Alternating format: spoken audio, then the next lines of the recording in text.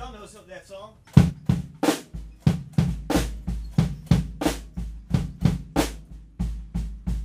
Two, two bass.